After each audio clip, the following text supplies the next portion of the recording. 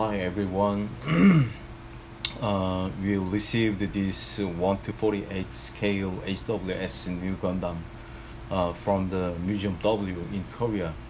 So I made this kit yeah, by request to some big client. It is one of kind in this world.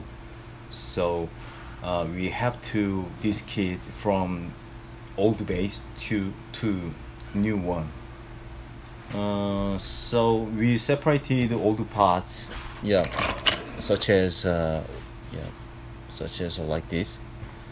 So I I don't know about that. Uh, we reuse uh, use it or not, but uh, we we decided about new design already, and we compound from the big client, uh, the old museum.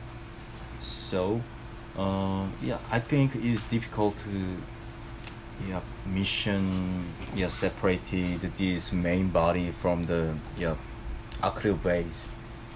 So uh, we got a chance to make a like this video because uh, it was uh, displayed on other place uh, yeah so far.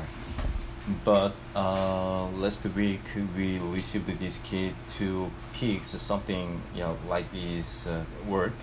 So um, maybe next week we we will started to move this kid yeah, to new base. And when we have a if we have a chance to make like this video we will do again.